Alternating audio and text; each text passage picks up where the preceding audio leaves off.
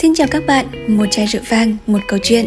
Hôm nay rượu ngon sẽ giới thiệu đến cho các bạn một chai rượu vang với một câu chuyện đầy ý nghĩa, đó là chai Colle Friso In and Out. Colle Friso In and Out đến từ nhà làm rượu nổi tiếng Colle Friso tại vùng Abruzzo miền trung của Ý và là nhà làm rượu duy nhất mang được đặc trưng của vùng là dòng nho Montepulciano vươn ra quốc tế.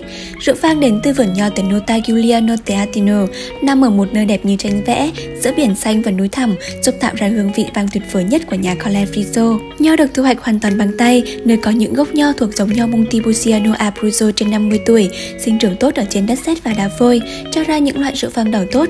Nho được trồng theo phương phương pháp hữu cơ nhằm cung cấp một sự chăm sóc nhẹ nhàng. Rượu sẽ được ủ trong thùng gỗ suốt 24 tháng và trong chai 10 tháng trước khi được tung ra thị trường. Với sự tỉ mỉ chăm sóc từng quả nho cho đến sản xuất và đóng chai đã cho ra một chai vang chất lượng tuyệt vời.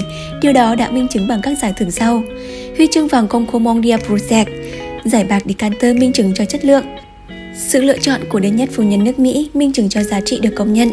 Bên cạnh việc chú tâm đến chất lượng, Collar Friso In and Out còn được chăm chút hình dáng bên ngoài với thiết kế vô cùng độc đáo và ý nghĩa. Một con cá chép ba chiều làm bằng đồng được xếp kẽ với một hình cắt giống nhau trên giấy. Cá chép là loài cá có khả năng bơi ngược dòng chảy.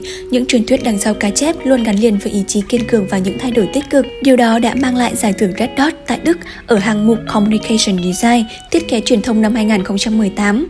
Rượu có màu đỏ đậm ánh tím mang hương thơm của những quả mọng, hoa violet và nấm cục đen, thoang thoảng thêm một mùi hương của gia vị, cấu trúc chặt chẽ, đậm đà và thanh lịch.